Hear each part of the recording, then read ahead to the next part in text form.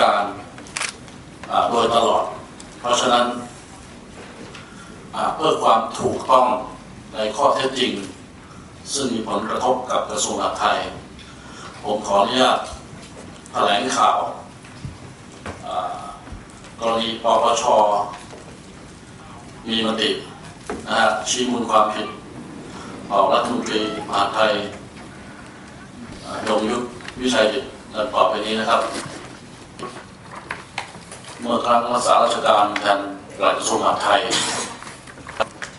คำสั่งคดีที่ดิน เรื่องมรดกนางเงื่อมเมื่อ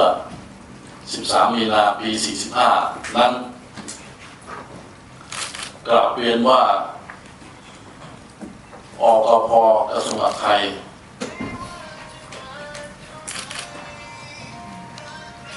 ในฐานะ ประธานอกพได้ปฏิบัติหน้าที่ประธานการประชุมอกพซึ่งกราบเรียนว่าในปี 55 ที่ผ่านมารวมทั้งปลายปี 54 ด้วยนั้น ผมได้ปฏิบัติหน้าที่ประชุม ในฐานะอ่อรองประธานอกพมาตลอดทุกครั้งท่านรัฐมนตรีดังนั้นทำให้นายยงยุทธวิชัยดิ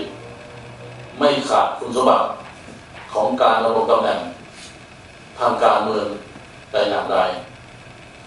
ซึ่งกฤษฎีกาก็ดีกพก็ดี ต่างก็มีความเห็น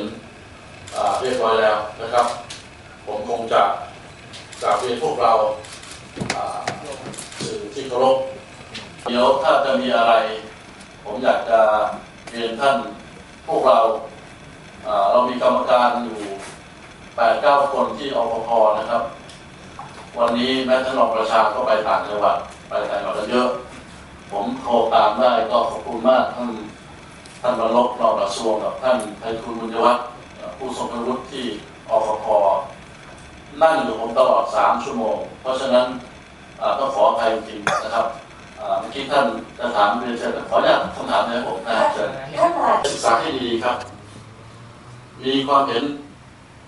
จากนักกฎหมายมากกว่าหนึ่งฝ่าย มีดีกาสาดีกา เพราะฉะนั้น